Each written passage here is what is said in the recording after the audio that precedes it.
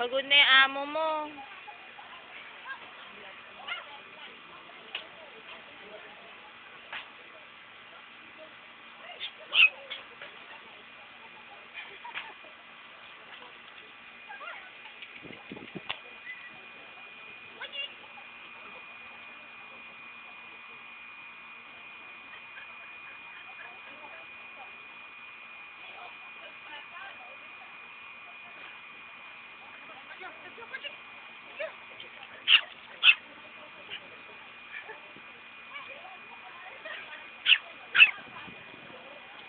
Ano yung kahol mo? Kahol ba yan?